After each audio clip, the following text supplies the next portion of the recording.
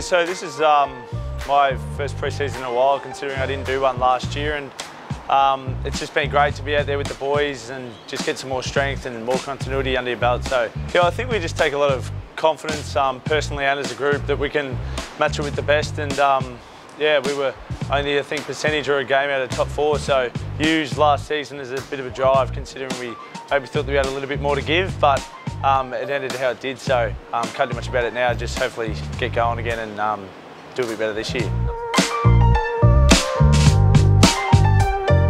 Yeah, everything's going well from my end. Um, stayed fit, haven't missed too many sessions, um, playing a bit of half-back and, and wing mid, so um, it's been good to get a bit of uh, change, I guess, not just um, being stuck in one position, being able to move around a bit and go back up the field, see, see whatever the team needs really. If we're um, maybe a couple of injuries, you never know what's going to happen. Or going down back mid last year, I think Cunno, Harry Cunningham and um, Lloydie were really good just being able to set you up a bit. Um, you get caught drifting up the ground a bit down there, just ball watching a bit. So being able to be with him and then learn off like Joey's been doing a bit of stuff on the wing and that sort of thing. So we've got a lot of um, senior players, even even learning off and perhaps just like their knowledge in the game and in meetings and stuff like that. So um, gelling as a group, we'll hopefully be able to read the ins and outs of all the boys, even if it's positives or negatives, you can bring someone up with you or just um, go along with them. So yeah, I think just playing games together and learning off them, being with them all the time, it just helps us all.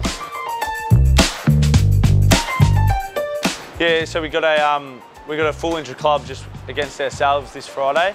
So that should be good. First four quarter game I think for us, and um, that'll be pretty full on with the boys, pretty competing, a bit of niggle going on there, and then. Um, after that, I think the week after we verse GWS down at Albury, just get, get to verse a different, different lot, lot of boys, a bit more competitive against someone else. And then, um, yeah, I think it's great. You get to go down to um, Albury, which I've personally never been before. But um, for example, last year we went to like Coffs Harbour and that sort of thing. So I think just getting to see different lifestyle and all that sort of stuff. And then you get to see also, as you mentioned, like different fans that like, hopefully we've got fans everywhere. And um, playing with fans, it's just, it's why you play. Like you see the joy on their faces, even when you see someone after the game, after a win or a loss and they're out here, like just to be able to see the joy that you bring them and um, to help put a smile on their face, it's great. Uh, I think we all like play, play for each other and play for the fans and just we love being out there with, love the boys and love the fans. So we love playing together and um, we love the club. So following that we have our, our JLT game, I think it is, against